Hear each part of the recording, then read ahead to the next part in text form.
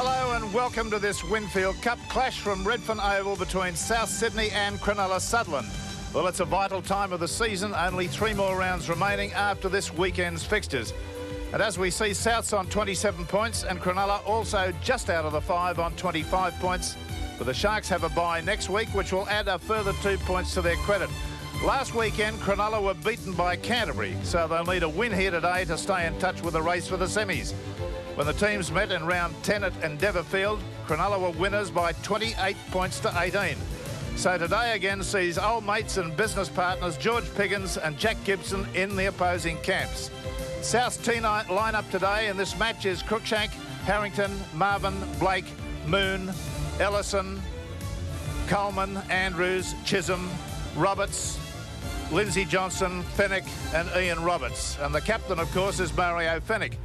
Cronulla's full team readout is Alan Wilson at fullback, Coleman, Glenn Mortimer in the centre, David Harris with him, Freacott on the wing, Speechley and Quinn of the halves, John Cambus, the under-23 lock forward, Diamond, Gregory, Sorensen, Porter captain, Staines. The referee for our State Bank big game is Graham Annesley.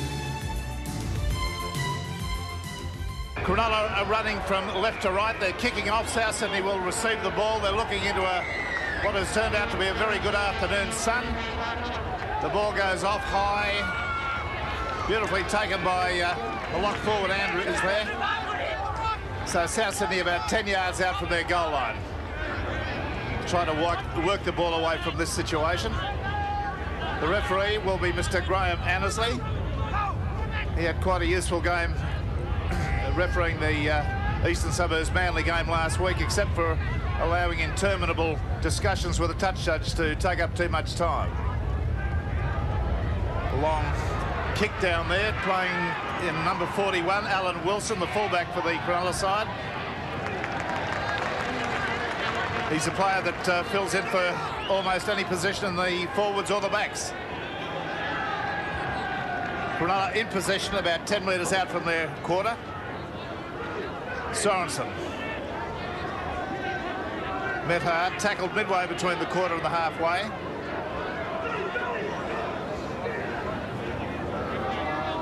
The settling down period, the period where the two packs of forwards are getting set into each other, will take place. It'll be a territorial battle too. Both got good kicking games.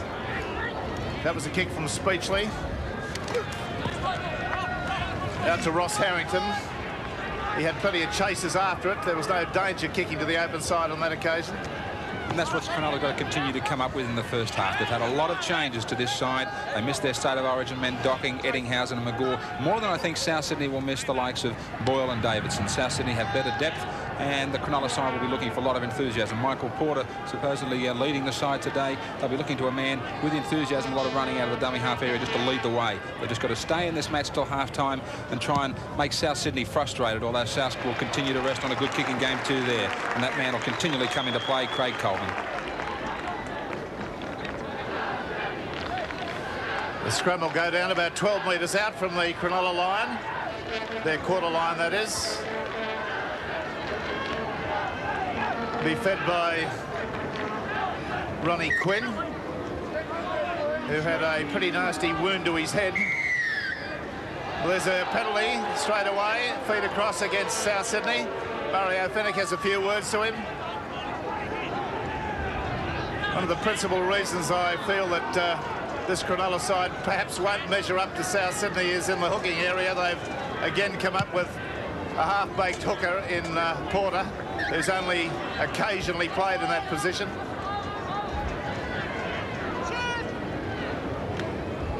On a Sorensen on the uh, from the tap penalty gets a hard, strong work out there from Ian Roberts, who's developed into a fairly ruthless defender.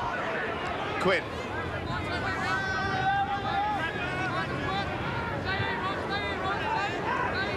Stain standing off the ruck as if he was going to work some move there, but all he did was go straight ahead. At 10 metres out from the line. On a Quinn.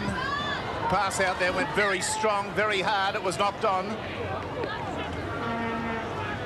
So it'll be a South Sydney put in from this scrum. It's uh, a little bit uh, alarming the way uh, Cronulla have started this game.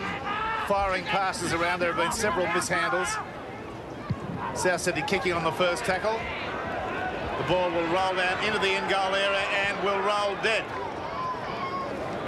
Well, is there any breeze down there at all, David? There's none apparent up where we are. Well, I think it was indicative from the uh, power of that kick. There is a very strong southerly breeze that is blowing uh, down the ground, favouring South Sydney in this first half. Cruikshank. Got a bit of pace, this lad, but uh, he runs into the defence then instead of linking with the uh, supports. Coleman. Harrington. Diamond ran at him there, but uh, he took him straight on. Coleman, long cut-out pass out to Andrews, away there to Taylor. Taylor's gone round one man, gone round two. He's got to Speechley, Speechley puts him down. No doubt about that one. A great tackle from Speechley, right round the boots, knocked him sideways. Coleman. On to Chisholm. Harrington, Coleman, Speechley, Back inside to Lindsay Johnson there, who got to ground before he could get the pass away. Last tackle. Coleman kicks into the end goal. They're racing back for it. Free cuts there. Oh, he's made a meal of it. Oh, he took desperate amount of time to get that away. The gate was open. Great little chip by Craig Coleman, the man that's really playing with some sort of urgency in this South Sydney side. The ball was left to left to be uh, rolling around by Dennis Frico. Just at the last moment there decides that the shadows of Craig Coleman were getting too close. It'll be a line drop out to restart. Still no score in the match. We've had uh, 13 minutes of play. Well, Alan Wilson tried to get that further, but uh, ballooned up and all the distance went off it.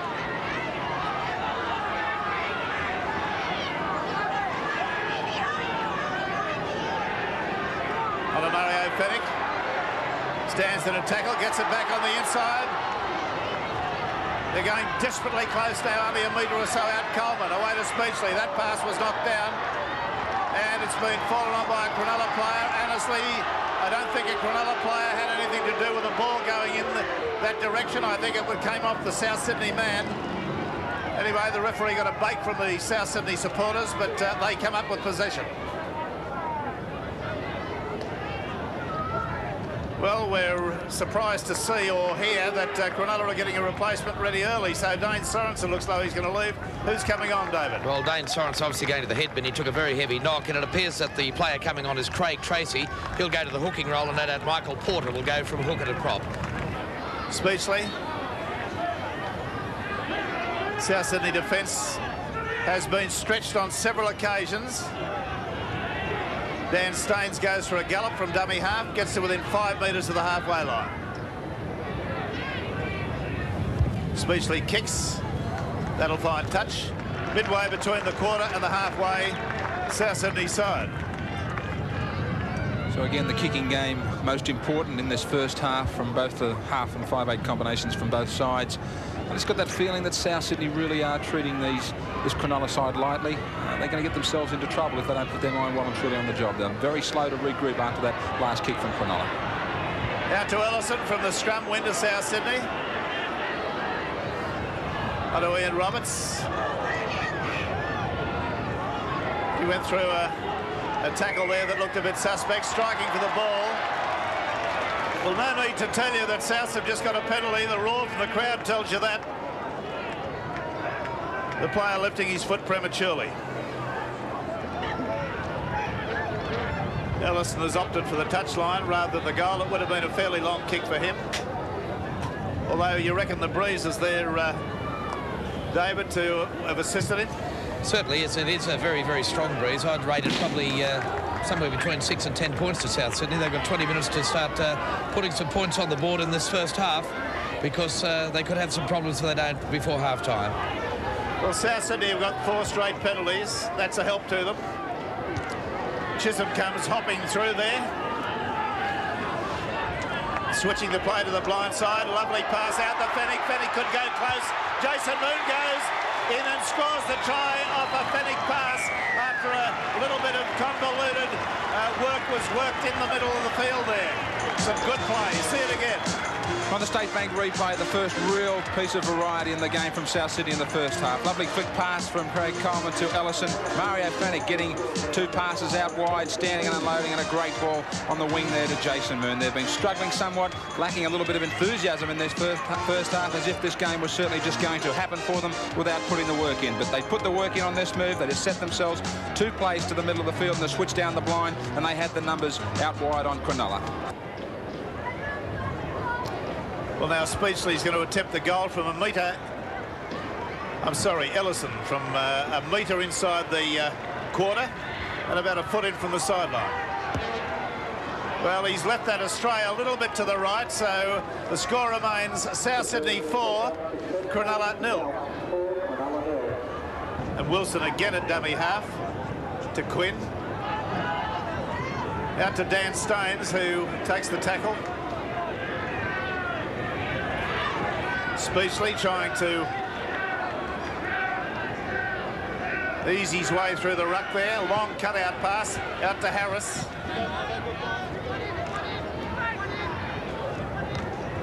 Sorensen, they're working the play back to the quarter. One-handed pass away to, I believe that's Freacott.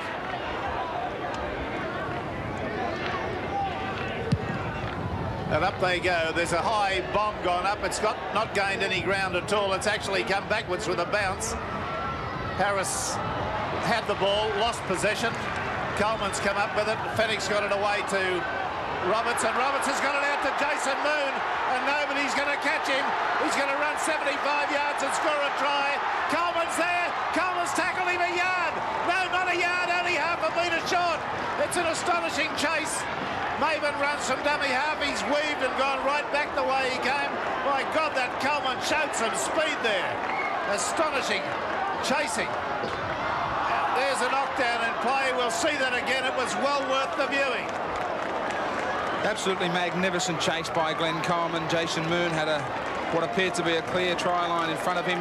Cronulla were being caught after that midfield bomb. Glenn Coleman, terrific pace and a fabulous tackle. He was very tempted to reach out maybe with a double movement, but a magnificent tackle. Scrum to go down just inside the uh, the Cronulla half. Andrews is going to score a try from a switch of play. A switch of play between he and the uh, the halfback has brought instant results for South Sydney. Classy move. See it again. And on the State Bank replay, again, Craig Diamond, the man out of that scrum very quickly, but he fell for the dummy Ev, just following the ball straight across the field. That left the gap between the blindside play and the scrum well and truly open. He was just out too quick and going too far across the paddock as the ball was switched back into Michael Andrews. Nobody at home. John Canvas, the lock forward, had gone the open side. Ellison strikes the ball well. That's the score then. South Sydney 10, Cronulla Sutherland nil. Speechley, long cut-out pass to Canvas. He's a strong big lad. He looks best when he's going as hard as he can go straight.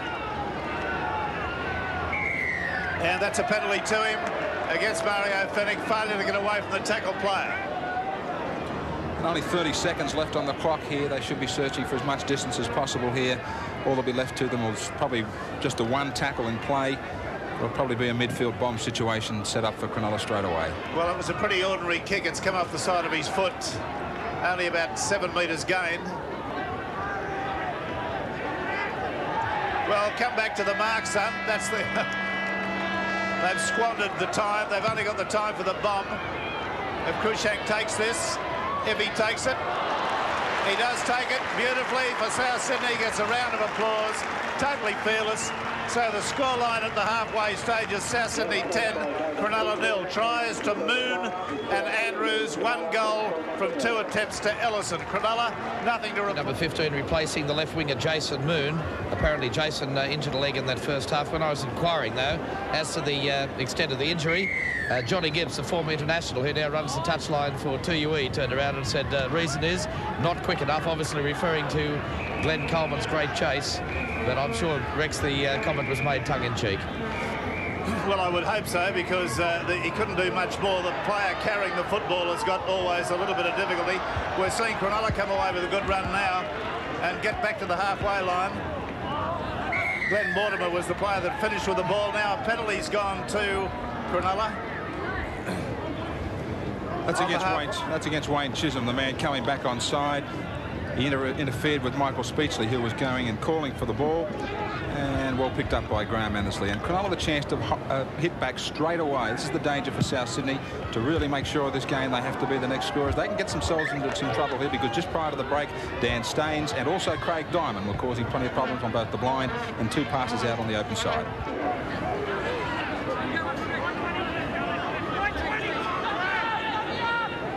Andrews. Chisholm gets a pass away one-handed. It rolled off his hand. Cruikshank stands, steps, weaves. They're going around in ever-diminishing circles there for a few moments. Lindsay Johnson has not passed the football once today. Threatened to on four or five occasions in the first half. Coleman reversing it back into the forwards.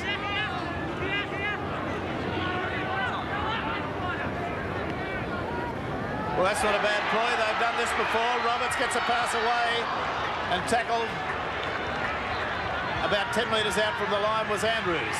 Fenech throws the dummy, goes back on the inside. He's going to score, is he? Yes, he is.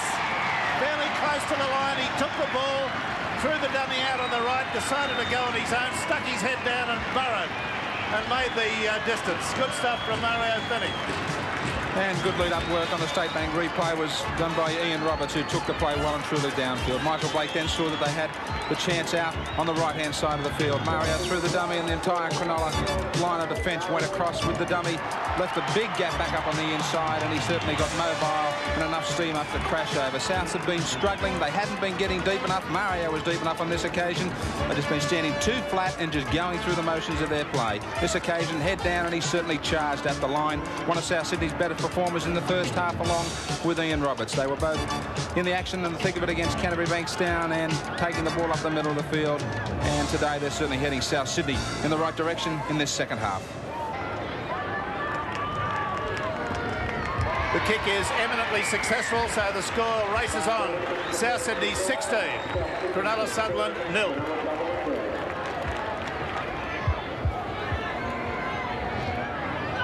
Quinn. Canvas. Tracy. Six to go, says the referee, waves his arm. Sorensen. Quinn. Speechley back inside to Harris, going nicely. Got a pass away, it's gone to Mavin. Mavin's dropped it. And Cronulla have knocked on in trying to pick it up. Although I didn't believe there was a knock-on from Cronulla there. Perhaps the video will show. Is the pass that goes back across by David Harris. And the knock-on by Mavin coming off the knee. Bit of a tough decision against Cronulla. Didn't appear to be the knock-on. Uh, another penalty gone from the same scrum. The South Sydney are collapsing these scrums. Speechley. Glenn Mortimer trying to get through there. Couldn't do it. Didn't have the pace. Harris is at dummy half. Goes from there. He's showing a lot of enthusiasm and pace when in the clear. Glenn Mortimer. Quinn. Tr Craig Tracy. Quinn. Well, he's there, is he? I think it's Michael Porter who's gone over to score. Well, a neat little switch on the State Bank replay by Ronnie Quinn, but there was plenty of South Sydney defence here. Just standing, Michael Porter showing his own sort of strength to get across that line. But Ian Roberts, Mario Fenech, Craig Coleman, they're all there on the line, unable to hold him. They were looking for the ball to go back across to the open. The little switch might have put them off balance, but there they are. He just braced himself for the tackle. A bit of a specialist, only about a yard or a metre or so from the try line, Michael Porter. Now, I notice Mavin's off, uh, David. Yes, Luke Beasley's the man that's come on to replace replacement. It's a common trend for uh, George Piggins in recent weeks. Earlier in the season, uh, Steve Mavin was really the flavour of the month, but uh, he has replaced him in the second half in the last few matches for South Sydney. Well, I noted that Beasley had a very good game in the reserve grade and set up a try for uh, the uh, replacement winger Mark Ross. Well, he had an outstanding game. So did Phil Blake, and that 31 points to four victory. It was a tremendous performance by the Rabbitoh reserve grade side.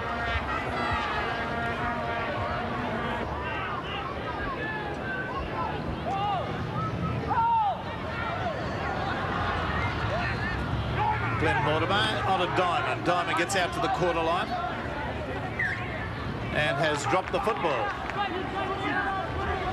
According to Mr Annesley, wasn't assisted, so we'll see a scrum go down here with a South Sydney feed. And once more, Craig Tracy has come back off the field. Dan Staines, after his stint in the uh, back in the front row.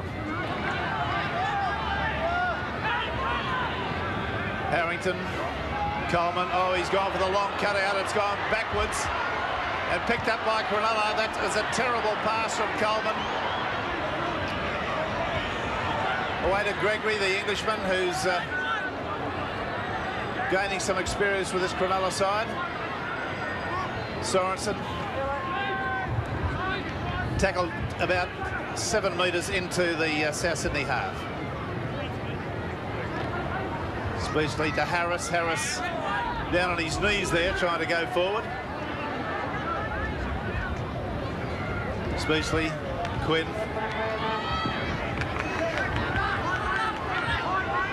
Canberra swung to the ground. That should be taken by Cruikshank. Oh, he's knocked it on, I believe. Yes, he has. Again, South Sydney giving the opportunity to Cronulla. Mavin knocked on not so long ago before he was replaced, and now Cruikshank. And South Sydney have struggled right throughout the day to put this Cronulla Southern side away. The Sharks, probably the end of the semi-final run for them if they lose today. This scrum going down right in front of the goalpost, opening up great uh, uh, parts of play on both sides of the ruck. Out to quit On a Speechley, back on the inside. Beautifully to Glenmore to C, Jimmy C, and he's in for a try. C came in from the fullback job. I think there was a call came there very smartly. And he changed direction. See it again. And on the State Bank replay, that's the way it panned out. Plenty of open spaces either side of the scrum base. And Jimmy C finding enough room to move in there. Just broke out of the last-ditch tackle. David Boyle arriving too late on the scene. Switch of play from Michael Speechley. And when Jimmy C comes back inside, he just palmed off Wayne Chisholm and just dived over. South Sydney have been struggling to put the Sharks away, and they certainly have a match on their hands right now. 10 metres in from the sideline, two metres short of the quarter line, kicks and gets it. So South Sydney on a precarious road here. They've allowed the Cronulla side to graft their way back to 16-10. Play restart on the quarter line. Great performance by Cronulla in this second half. Their enthusiasm has been enormous. South Sydney a little bit off their game. They've had opportunities and squandered them in the first half. And Cronulla just lacking that little bit out wide to finish off some of their movements in the second half. And that's the like of Andrew Ettingshausen and Mark McGaw. Jonathan Docking, one just wonders how Cronulla might have finished on in this second half. With time running out now for Cronulla, South Sydney are in possession. Davidson makes a break, got a one-handed pass away, which went to ground. It's still in South Sydney's possession. Ross has fallen on it. Coleman kicks it over the sideline. They'll get the, uh, the scrum feed from the ensuing scrum. Good tactics by Coleman. He realised that the time was really running out now, and he just knows that South Sydney have to control the ball. Sharks searching for a real miracle. About one and a half minutes to go. in this dramatic game, South Sydney leading 16 points to 10. Johnson, the first pass he's got away today. Coleman runs from dummy half. Gets to the halfway line. Fenech. Boyle. A shuddering sort of a stop he came to then, Mario Fenech. Diamond running into you, I don't blame him. Fenech milking the moment, getting uh, every last second he can out of the referee on that occasion. Quinn. Beautiful tackle by Coleman, puts him down 12 metres out from his line. Now, Cronulla have got to just throw caution to the wind. They've got to keep the ball alive, play in Jack's, uh, Gibson's own words, catch-up football. The Hooter will beat them. Quinn, the little kick over the top, taken beautifully by Roberts, given to Davidson. Davidson gives it back inside to Boyle.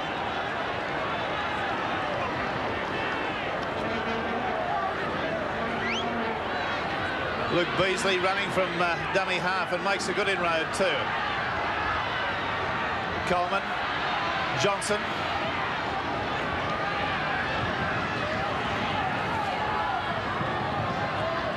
Fenech away to Davison. Davidson very strong, stretched the defence, couldn't release his arms. Michael O'Connor, Coleman had a move there with uh, Yes, well, it's all over now. 16 points to 10, South Sydney lead at the conclusion of this event with Cronulla. The scorers in the match were Moon, Andrews and Fenech for the South Sydney side. Cronulla came back with two tries to Porter and C in the second half. Ellison kicked a couple of goals for South Sydney. Canvas uh, got the one.